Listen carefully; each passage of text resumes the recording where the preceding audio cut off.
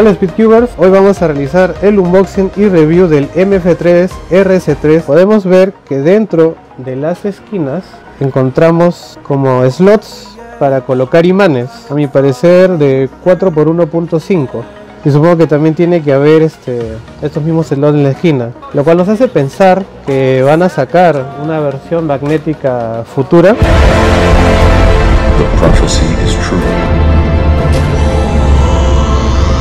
Hola Speedcubers, hoy vamos a realizar por segunda vez la revisión del MF3 RS3, pero ahora es la versión magnética. Vamos a abrirlo a ver qué tal. ¿Ha visto? Ahora lo abro con estilo.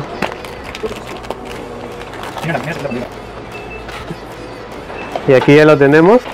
hemos sacado la versión stickerless, pero también tenemos base negra, por si se lo preguntan. Vemos que aparte del cubo dentro de la caja, encontramos un parante para colocar nuestro cubo ahí en exhibición cuando no estemos cubeando. Tenemos estos palillos que sirven para lograr tensionar el cubo de manera más pareja y un desatornillador para las tensiones. A ver, ahora nos ha tocado Stipcho ex record mundial.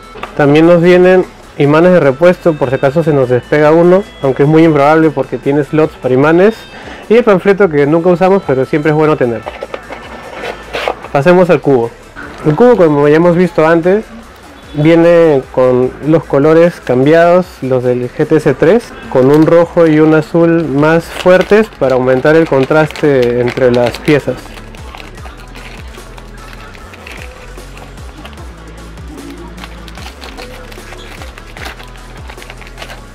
Vamos a realizar los primeros giros. El cubo viene bastante seco, bastante rápido.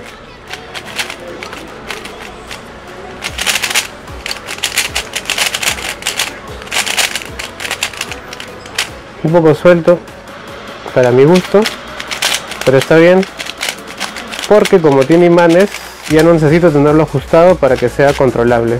Acá podemos ver otra vez los colores bastante bueno el contraste. Si trato de diferenciarlo con la versión sin imanes que también hemos traído ya que este cubo hay que tenerlo más apretado para tener esa sensación de estabilidad al girarlo.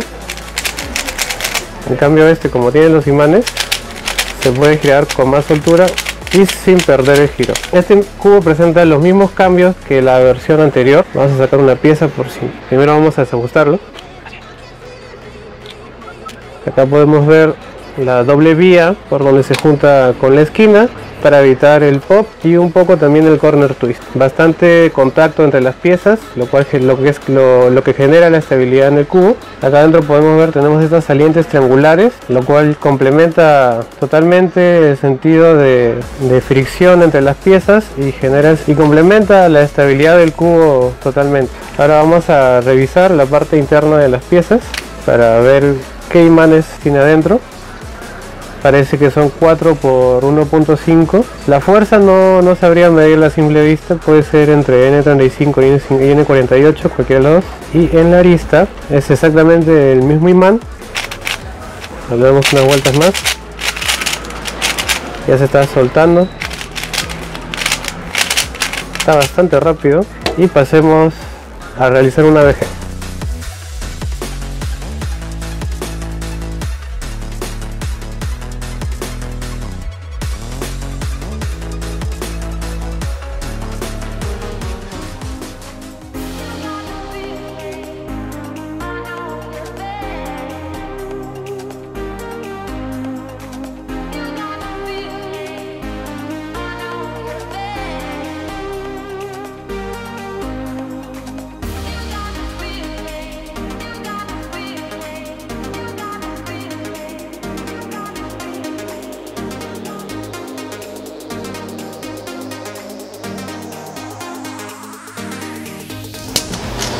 No pasó nada.